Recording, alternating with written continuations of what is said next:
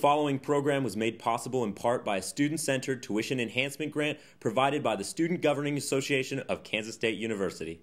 What's up, K Staters? It's Tuesday, November 8th. I hope you're having a good day. And if you're bored, looking for something to do, I have a ton of activities to tell you about that are happening today in Manhattan.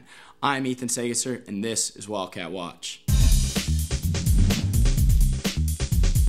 Are you looking to get a job or an internship in the public service field? Well, run on down to the Union Ballroom for the Public Service Career Fair today from 11 to 4 p.m.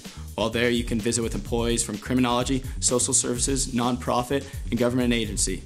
Hey undergrads, ever wonder what it's like for some of your grad student teachers? Well, check out the hilarious comedy, The PhD Movie, which follows the life of four grad students as they're trying to make it through school. Bring all your friends, grab some snacks from the Union, be at the Union Ballroom at 8 p.m. tonight. This is sponsored by the Graduate Student Council. Admission is free. Are you a sports junkie like me? Bleed purple and cannot get enough K-State sports in your life? Well, check out the K-State women's basketball team tonight as they take on Washburn at 7 p.m. in Bramlage Coliseum. Students get in with their K-State ID plus it's dollar hot dog night. How can you ask for a better deal?